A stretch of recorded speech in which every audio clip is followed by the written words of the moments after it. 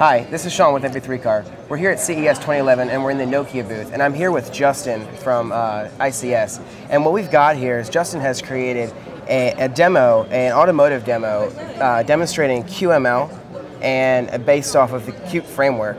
And Justin, if you want to give, just give me a little information of what exactly this demo is and, and why it's attractive here. Sure. This is actually a demonstration of the power of the new QML programming language, which is a declarative language uh, meant for laying out user interfaces. And it has properties and states and transitions built right into it. So it's very easy to do things like here we have a dashboard, and it's actually hooked up to a Mega Squirt 2 fuel injection system. And this is an engine simulator, and if I change values, you can see things actually move, the needles move smoothly, they have a little bit of bounce at the end. They feel real. This is all just configurations using the standard QML items. So all that kind of animation, that, that physics engine, that's all built into QML. You don't actually have to program that math. Exactly. I just say I want to bounce out and I get the needles to bounce. Okay. So you'll notice here that I have um, a number of different applets, such as an AM FM radio, and we have transitions that go between those as well. So we have a Sirius satellite radio implementation and even maps. And these maps come from Ovi. Uh, these are very easy to do in, uh, in QML. There's items that come with the um, Qt mobility package for just making a map in your application. Now Qt supports multi-touch, although this is a multi-touch screen. It's not working here for this demo. Yes. Okay. So uh, to use multi-touch um, on anything that's Linux and Qt, you need the latest and greatest version of the uh, what's called the X server. So uh, newer distributions will have that.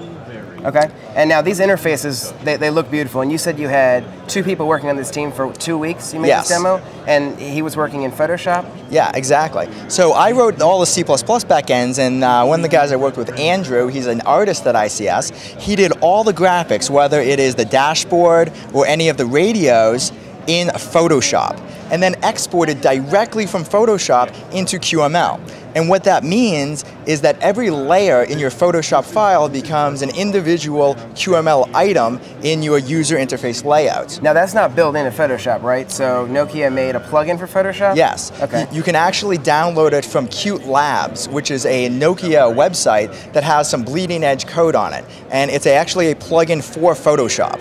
Okay. And um, this this technology, QML, has been available for a while now, right? Yes. And and what are we looking at in the future in terms of uh, where this kind of technology is headed? So right now, um, all of this was built without a widget set. That means there's no uh, concept of a button. I made my own. There's no slider. Uh, there's no switches. Um, everything is either an image item, a text item, or basic primitive rectangle type things. Coming soon in technology preview, probably within the next couple of months, is going to be Qt Components, which is a whole widget set that is directly geared toward writing QML applications so you can use standard buttons, standard sliders, and work even faster. And you'll be able to make your own widgets, of course, right? Exactly. And then so it'll be really rapid development for any kind of interface apps, you know, especially in the car space like we're talking about here.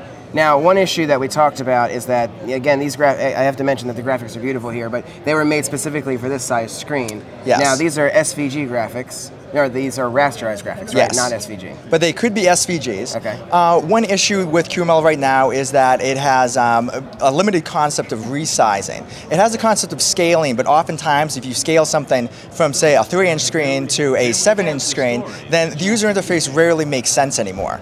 Right. So, but for some, for our users that yes. are usually on seven-inch screens or maybe eight-inch or, ten-inch screens, uh, using these kind of interfaces, it, once you know the size, you can, you're pretty much set, right? Exactly. Unless you're building apps that need to go mobile. Exactly. Like that, right? Yep. Okay, well, this is this is some really great technology, and, and I'm looking forward to uh, to getting it up there and seeing what a lot of people can do with this rapid development. Uh, so keep an eye on our website, um, www.ics.com. We'll be posting the source code to this demo real soon, Excellent. so you can check it out yourself and see how we built this application. Great, really appreciate it, Justin. Thank, Thank you. you.